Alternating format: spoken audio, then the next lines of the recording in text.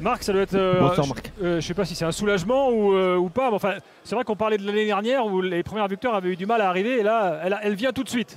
On est très soulagés. hein. Ouais. Vous savez qu'il s'est passé beaucoup de choses chez nous, un nouveau cycle dans beaucoup de domaines. Le stade est en rénovation, nouvel entraîneur, nouvel effectif, nouveau propriétaire aussi. Donc il y a beaucoup de choses qu'on doit mettre en place. Il faut un peu de temps. Et c'est vrai, le fait de gagner contre Lyon en plus, pour nous, c'est quand même quelque chose de très positif, je trouve. Bon, après, dans le jeu, euh, on n'a pas vu une super équipe de Strasbourg, notamment en première mi-temps. C'était dur en première mi-temps. hein. Ben, il y avait une belle équipe de Lyon. On disait qu'ils étaient en difficulté. Moi, je les ai trouvés très techniques. Ils jouaient très bien. En deuxième mi-temps, on a été meilleur. On a réussi à marquer deux buts pour prendre un peu d'avance. Et on prend trois points, quand même, pour nous, très important en termes de confiance. Deux tirs cadrés, deux buts, Marc. On est efficace en Alsace, mon cher Stéphane. Ça, ça- ça marche. Nous, on recompose un duo euh, historique du foot Ah anglais. ouais, là, on a euh, travaillé ensemble pendant des On années. a hein. vécu quelques, belles, quelques beaux après-midi. On a vu des matchs d'une autre intensité, d'un autre niveau que celui qu'on On a vu pas ce avec une telle ambiance. Excuse-moi, N'est-ce pas, Stéphane. Marc Alors, Ah, mon on a cher, vu mon Gilbert, quand je travaillais avec Stéphane à l'époque, on était en CFA et en national, dans un vrai, club amateur. Attention. hein. Je passais, mais, mais Marc me racontait l'aventure, Ouais. euh, semaine après semaine, de la reconstruction et de la reconstitution. Et c'est beau parce que c'est vrai que c'était pas, ça n'a pas été simple. Les gens oublient sans doute que dans les premières années de Strasbourg, il n'y a qu'une montée par championnat. Et que alors, Strasbourg avait des moyens évidemment démesurés par rapport à la concurrence, mais une montée, ça laisse pas beaucoup le droit à, à l'erreur et Marc a, a sué sang et eau. On s'est vu euh, fin juin dans l'after, Marc. Et à ce moment-là, le mercato bon, n'avait pas encore vraiment démarré. hein. Et là, on se retrouve euh, un mois et demi plus tard avec des dépenses qu'on n'a jamais vues au Racing. Alors, mais je, je l'avais dit, on a fait venir Mm. Bluco parce que je- j'estimais que euh, on avait fait du très bon travail avec une ascension permanente depuis 12 ans. Mais les trois dernières années, je pense qu'on était arrivé au, plafond de ce que des dirigeants normaux comme nous, les Alsaciens, on pouvait faire. Et pour être compétitif dans un championnat de Ligue 1 où il y a beaucoup d'investisseurs, avec une Ligue 1 qui passait à 18 aussi, on a estimé qu'il fallait se faire accompagner. Moi, c'est un, tra- un travail sur lequel je réfléchissais depuis deux ans. On a trouvé Bluco et maintenant on travaille avec eux pour amener le club plus haut que ce que nous on a fait. Mais il faut du temps. Voilà, il faut un peu de patience parce qu'il y a beaucoup de choses qu'il faut mettre en place. Et la rénovation de la Méno, en même temps qu'on joue, est aussi un des éléments qui fait qu'il faut de la patience. Et le rôle de Marc Keller là-dedans, Marc, est-ce que toi, tu- je peux me permettre de te tutoyer, Oui, hein, bien je suis sûr. désolé, mais pour nos auditeurs, ça se fait pas, mais c'est ainsi, c'est la vie. Dans. Euh, toi, quel est ton rôle? Parce que tu as porté ce projet pendant 10 ans, 15 ans. Est-ce qu'aujourd'hui tu es pleinement investi? Est-ce que tu es là pour une passation de pouvoir? Quel est le rôle de Marc Mon Keller? cher Stéphane, ma femme me dit que je travaille encore plus qu'avant. Donc non, je, je suis totalement investi. Je, je- je pensais qu'il fallait, pour faire évoluer le club, faire venir des gens. Voilà, donc euh, ça a été le choix des actionnaires et bien sûr mon choix à la fin, puisque j'étais l'actionnaire principal. On trouve maintenant de. On commence à travailler ensemble avec Bluco. Euh, on a fixé un budget à la DNCG différent du budget que nous on avait avant. Hein, J'avais dit c'était pas les 25 millions avance- annoncés, c'était plus. C'est ce qu'on On peut le connaître d'ailleurs, ce budget? Non, mais on avait, je ne vais pas le dire précisément, mais en tous les cas, on a bougé. L'idée, c'est de commencer un nouveau cycle avec un effectif à mettre en place. Et moi, je suis, Stéphane, totalement investi dans, dans ce projet. Il y a le projet du stade aussi. On vient de récupérer la semaine dernière le centre de performance Racing Soprema Park, qui est le nouveau centre d'entraînement des pros.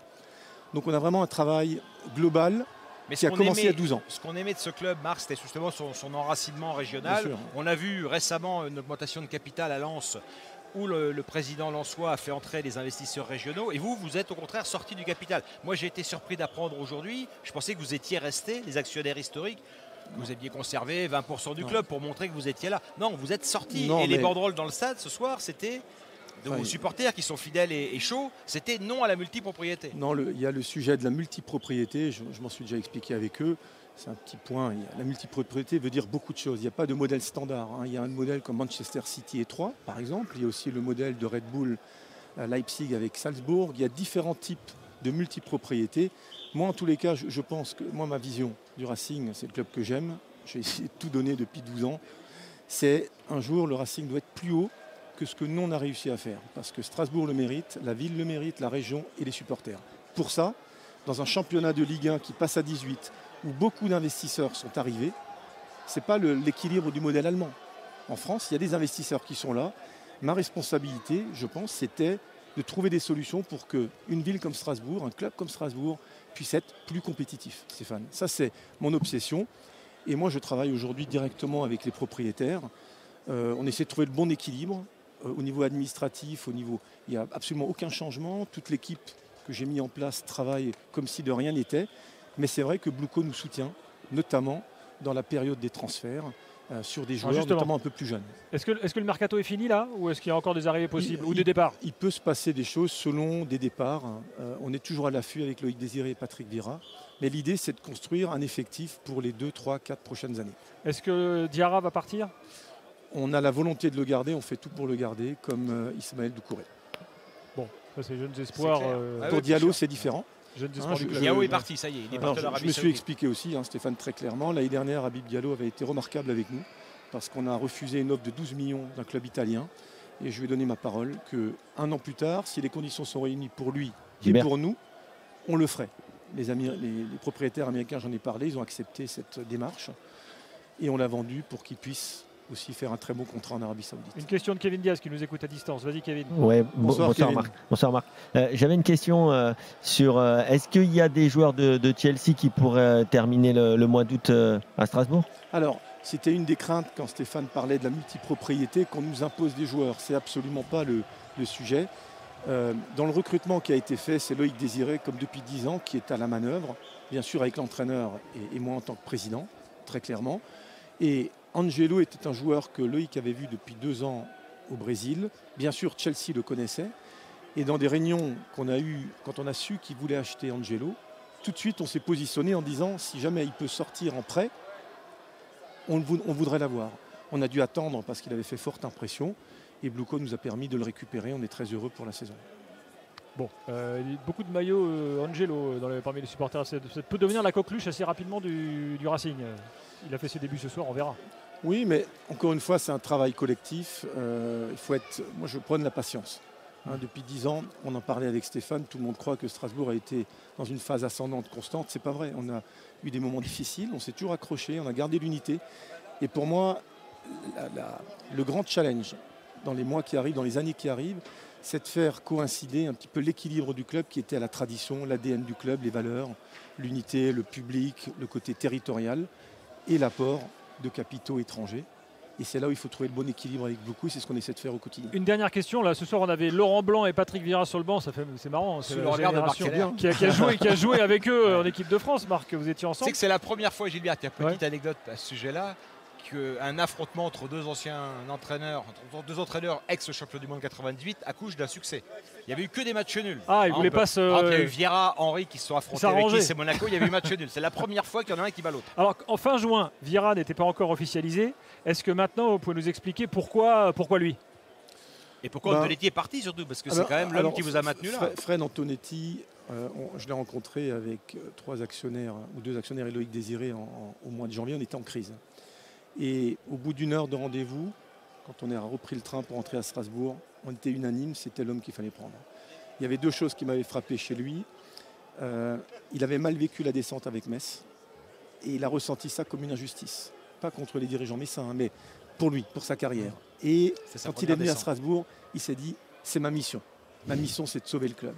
Et la deuxième chose qu'il m'a dite, qui m'est restée, il m'a dit Marc, avec l'équipe, l'effectif que vous avez, c'est impossible qu'on tombe. Il restait 15 matchs. Il m'a dit, si on tombe, je me sentirai responsable. Hmm. Chapeau, hein, parce qu'on était mal. Et eh ben, il avait confiance dans les joueurs, il a redonné de la confiance.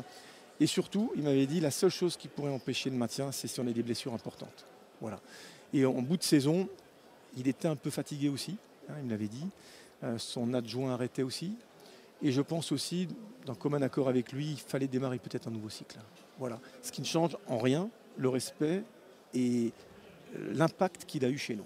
Je trouve qu'il a fait un travail remarquable. Tout le monde disait, il y a des gens qui étaient un peu sceptiques hein, quand, je l'ai annoncé, mais il a fait un travail, je dirais, fantastique, très concentré, et il vivait hôtel Meno. Hôtel Meno, il a fait que ça pendant quatre mois, tellement pour lui c'était le challenge de sa vie, et il l'a réussi. Et Lira, euh, qu'est-ce qui a fait la différence? Ben, On souhaitait quand même peut-être quelqu'un qui avait euh, une expérience peut-être internationale, quelqu'un qui parle français, idéalement qu'il soit français. Euh, aussi quelqu'un qui a travaillé avec les jeunes. Moi, je connaissais Patrick, bien évidemment, depuis 20-25 ans. Et quand on s'est rencontrés aussi, ça a matché. J'en ai bien sûr parlé aussi avec les propriétaires américains qui étaient euh, en phase avec, avec, moi et avec Loïc Désiré. Et on a avancé. On est très content de l'avoir avec nous. Bon, moralité, euh, conclusion, tout va bien. Euh, la, relation avec le propriétaire euh, se passe bien. non, c'est le début de saison. C'est un soir de victoire. non, mais je veux dire, encore une fois, moi, la victoire est très bien pour nous. Ça nous. On a un peu plus de temps pour travailler. Mais je le dis depuis des semaines, il ne faut pas mettre une pression. On n'est pas passé d'un club 8e, 12e bien géré à un club qui va jouer la Coupe d'Europe. Il faut du temps. La volonté, c'est de faire mieux. C'est pour ça qu'on a fait venir des gens. Mais on va le faire d'une manière méthodique calculée et progressive. Marc, tu as quand même conscience que Strasbourg occupe dans l'after une place un peu particulière. C'est un club qui est surmédiatisé dans l'after. Bien sûr. Qui est survendu par son présentateur. D'ailleurs, tu remarqueras qu'on a deux points d'avance sur Paris, donc Strasbourg a son destin entre ses mains. Reste donc la question que les afteriens se posent, c'est est-ce qu'il y aura dans le prochain stade une tribune Gilbert Bibrois Non, pas. Une tribune, ça va un siège. Donnez-moi un siège. Donnez-moi un siège. un siège permanent. bon, merci Marc d'être venu en tout cas. Merci, beaucoup. Et merci pour l'accueil du, du, Racing ici. Euh, à la Méno. Ça, c'est très important. C'est quelque chose qu'on veut absolument garder. Euh, c'est l'accueil du public. On ouvre les grilles trois heures avant. Je ne sais pas si vous étiez là assez tôt. Gilbert, Stéphane, c'était fantastique. Et on veut garder ça. Patrick l'a dit d'ailleurs aux joueurs. Euh, il faut garder ce lien avec le public, ce côté. On veut se surpasser et on va essayer avec des moyens supérieurs. Merci beaucoup Marc et bonne saison. évaluation après le match Strasbourg-Lyon. On a Alex qui est là, qui est supporter lyonnais. Alex, bonsoir. Salut l'after. Bon, euh, tu te souviens de nos évaluations de l'époque, les boulets, les pieds carrés, les tauliers et tout. Tu en as quelques-uns à Lyon euh, à nous citer ce soir ou? Ouais, il y a pas mal de boulets. Hein. Hmm. Euh, non, je pense que franchement, il n'y a pas de talent dans cette équipe. J'ai même pas envie de dur, C'est dur d'entendre ça quand tu vois les individualités qu'il y a sur le terrain quand même. Ah non, mais pour ouais, mais pour moi. Moi, quand je vois que quand je vois que Barcola, euh, le PSG le veut à tout près à 50 millions, mais surtout qu'ils le prennent très vite. Euh, c'est un bon joueur, mais euh, moi je le trouve pas extraordinaire joueur. Alors il est jeune peut-être, mais moi je pense que sincèrement c'est ça qui est problématique, c'est qu'il faudrait tout reconstruire à Lyon. Et je vous parle, on est en début de saison, c'est la première journée, donc c'est ça qui est quand même très compliqué. On n'a mmh. aucun joueur talentueux dans cette équipe. Les trois joueurs de notre milieu de terrain, c'est trois c'est trois robots, c'est trois joueurs identiques. Je ne sais pas ce qu'ils apportent, je ne sais pas ce qu'ils font, je ne sais pas qui fait quoi. C'est catastrophique. Derrière Diomandé, je ne sais même pas si c'est un joueur de foot. Euh, Calais Takar, euh, Marseille n'en voulait plus, il était à Southampton, ils sont descendus. Non, franchement, c'est catastrophique. C'est catastrophique. L'année dernière, la Casette et Lopez, c'est l'arbre qui a caché la forêt. On est, on est nul. Et moi, je vous annonce, on est peut-être du futur Bordeaux parce que c'est minable. Voilà. Enfin, moi, je peux, je peux, j'ai difficile d'y croire. Ouais, c'est beau. Tu peux, tu peux pas, tu peux pas dire que, que Tolisso est, est, un joueur catastrophique. sur la ligne arrière, je rejoins, je rejoins quand même Alex. Mais Tolisso, il fait quoi dans un match? Expliquez-moi Tolisso l'année dernière et ce soir, qu'est-ce qu'il apporte? Moi, Tolisso, c'est un bon joueur. Tolisso, il était au Bayern il y a deux ans. Tous les bons mouvements offensifs lyonnais, quasiment, démarrent de Tolisso ou passent à un moment donné crucial. mais les, supporters lyonnais, on peut comprendre, en tout cas pour certains, votre frustration, mais, mais tu peux pas tout jeter non plus. Euh, tu me parles de la ligne arrière, euh, Gilbert, mais Tagliafico, c'est un bon joueur quand même pour la Ligue 1. Tagliafico, c'est un bon joueur. Aujourd'hui, Caletazzar, pour son premier match, je ne l'ai pas trouvé nul. Hein. Je suis désolé. Euh, c'est pas non plus hyper tranchant. Même Diomandé ce soir, on ne peut pas, pas dire, peut pas dire qu'ils ont été défensivement à la peine. Ils ont, mais ils ont, les gars, c'est quand même. Ils ont été déséquilibrés hein, pendant 10 minutes. Oui, mais Lyon, Lyon, euh, cher ami, t'es pas dans le top 5 depuis 3 ans. Mais je suis d'accord, mais, mais c'est problématique. C'est quoi notre budget? On a, le on a le cinquième budget de France. Je pense pas. On doit être le troisième derrière Paris et Oui, mais tu es en train de traîner. Oui, mais le budget, il veut rien dire parce que tu es en train de traîner des casseroles. Ah voilà, euh, Aminsar c'est ma faute si on l'a non, non, enfin, non, non, mais moi je suis pas d'accord, Kevin. Ils ont quand même, euh, ils ont quand même encore les moyens de mettre des salaires énormes. Ah, attention, on va écouter le début de la conf de Laurent Blanc, euh, voir, ses explications. Du score.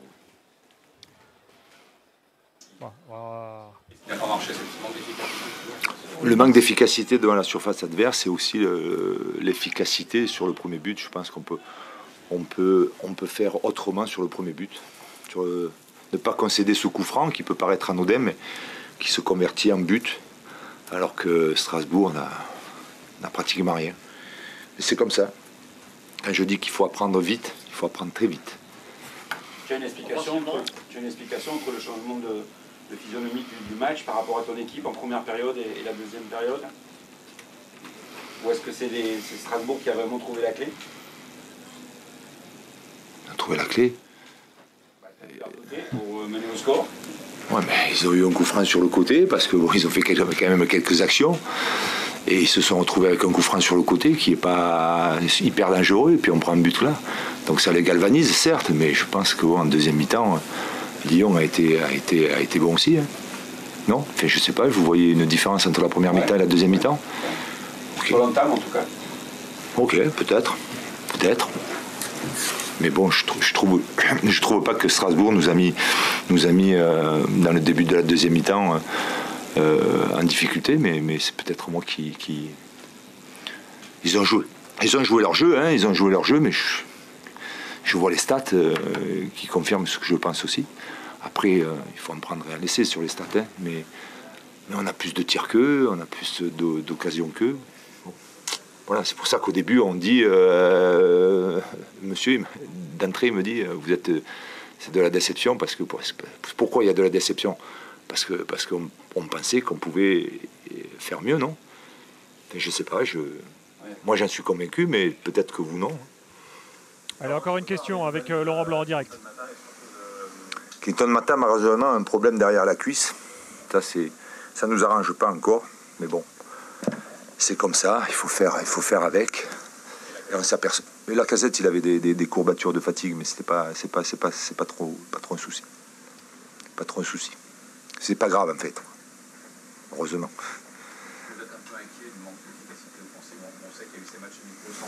Allez, est-ce que vous êtes inquiet parce que Lyon ne marque pas assez, hein, si vous n'entendez pas bien la question Ouais, mais on peut gagner, on peut gagner les matchs 0-1, hein, c'est pas interdit si le gardien ne fait pas une, belle parade, parce que je viens de le revoir, c'est le gardien qui, détourne. Alex, il, avait fait ce qu'il avait, ce avait prévu de faire. Voilà, ça ne tient pas grand-chose. Quoi. Ça tient pas grand-chose. Voilà pour, euh, pour Laurent Blanc. Euh, Alex, euh, bon, il, il, est toujours le ton, le même ton en fait, hein, Laurent Blanc après victoire ou après défaite. C'est ça en fait, Gilbert. Gilbert, en fait, qui agace les Lyonnais, c'est même pas le contenu parce que moi, encore une fois, euh, moi, ce qu'il dit, je suis d'accord avec lui. Je suis d'accord avec tout ce qu'il dit dans, ce match. Euh, tu, regardes, alors on va me dire, comme il l'a dit d'ailleurs, que les statistiques, mais Lyon a la possession quand même assez largement, avec 65% quasiment de possession de balle. Ils ont, ils ont 23 tirs à 8. je veux dire, Lyon, ils n'ont pas, ils ont pas rien fait. Surtout, Kevin, une stat qui parle pour la qualité de leur jeu, c'est qu'ils ont un taux de passe réussi assez remarquable et très supérieur évidemment à celui de Strasbourg. Enfin, à l'écouter, il est victime de hold-up là. Non, mais c'est pas un hold-up, Gilbert. mais il dit qu'il y, a eu des moments dans le match qui n'ont pas tourné en faveur des Lyonnais, mais tu peux pas non plus dire, comme le disait notre auditeur à l'instant, qu'ils ont été catastrophiques. C'est pas vrai. Alex, puis, moi, je, moi je dis, je, je, dis ce que je te disais tout à l'heure. Attends, juste, Alex, au, 32 16, vas-y. Euh, on parle de. Euh, j'ai écouté euh, l'after du début. Euh, effectivement, moi, je suis pas contre Laurent Blanc parce que je pense que on a eu plusieurs entraîneurs et ça fait longtemps qu'à Lyon ça va pas. Je parle des Silvino, je sais même plus qui c'est. avant, après, avant Laurent Peter Blanc. Boss. voilà, Peter Boss. Quand, quand il est arrivé, Peter Boss, j'étais super content, moi mais euh, il n'a pas réussi. Donc c'est peut-être qu'à un moment donné, c'est peut-être les joueurs, c'est peut-être le recrutement qu'on a fait, c'est peut-être pas que les entraîneurs. Moi je suis désolé, excusez-moi, hein. je suis support Lyon. Depuis 10 ans, j'aimerais avoir une stat, depuis 10 ans, le nombre de points qu'on a pris à l'extérieur contre Troyes, Guingamp, Reims, Brest, Strasbourg, je suis sûr que c'est en dessous des 50% de victoire. Donc c'est quand même qu'il y a un problème. On n'arrive pas à gagner contre ces équipes-là. Hmm. Alors à l'extérieur, à domicile, ça va. Mais à l'extérieur, depuis 10 ans, on a, on a beaucoup de défaites contre des équipes quand même de, de bas tableau ou de moyen tableau. Et pour moi, Lyon, moi je maintiens, on n'a pas, on n'a pas un bon effectif. Il n'y a que 3-4 joueurs qui sont bons. Oui, Dolisso, je suis peut-être dur avec lui. La casette, c'est quand même un bon joueur. N'oublie pas que tu as ton meilleur joueur de l'an dernier qui est pas là, c'est le gardien de but quand même. Oui, Lopez. Et, après, bon, il y a le petit Jeffinho. Il est un peu brouillon, mais quand il rentre, il a, il, a envie, il provoque, il fait des choses. Mais après, sincèrement, euh, moi, je suis très inquiet. Je suis pas, parce que euh, on parle de ça, mais on, a vendu Luc Eba. On a acheté un Irlandais, un million d'euros, on lui donne deux semaines. S'il est pas bon, il va à Molenbeek. Mais, mais on est qui, nous? Mais on est Rodez, on est Roubaix, on est quoi? On est Tourcoing? Non, mais sérieux, c'est Lyon quand même. Ouais. ah bah tiens, pour l'année, pour oui, enfin bon, je, euh, bon, voir ce qui va, voir ce qui va se passer dans le mercato. Il peut se passer encore des trucs. Hein. Euh, de, ah, John, faut, John Textor était là, par exemple, ce soir, là, euh, entre Botafogo et tout. je sais pas, je sais pas s'il y a, des bruits qui courent à Lyon, mais il n'y a pas que, il y a pas que des Brésiliens. À un moment donné, je pense que sincèrement, à l'heure actuelle, là, il faut au minimum un joueur par ligne, hein, encore. Hein. Parce que franchement, on est, pour moi, on est faible. Pour moi, on est faible et on comprend rien à ce que fait Textor. Donc, euh, je suis, moi, je suis très, très, très, très inquiet. Merci Alex. Voilà. Merci Alex, bonne soirée et, à Courage très Alex. Euh, pour, conclure, euh, Kevin et Stéphane, et, je sais pas, peut-être un manque de leader dans cette équipe aussi. Euh, finalement, la casette est un peu seule devant, on voit qu'il se décourage. Non, mais attention, là, l'équipe de ce soir, tu rajoutes Anthony Lopez, tu rajoutes une défense croate, donc euh, Tsar avec Lovren.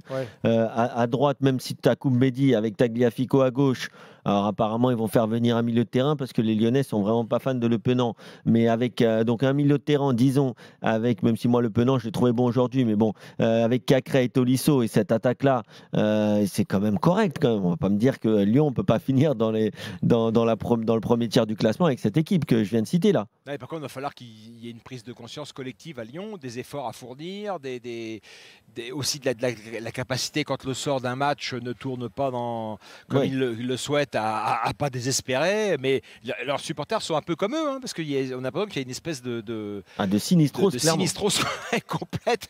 On l'a senti sur le terrain ce ah, soir côté lyonnais après le but de Bellegarde, et, euh, et, on le sent aussi dans les propos des, des auditeurs C'était le cas avant le match hein, avec les supporters lyonnais, je crois, c'était Riyad.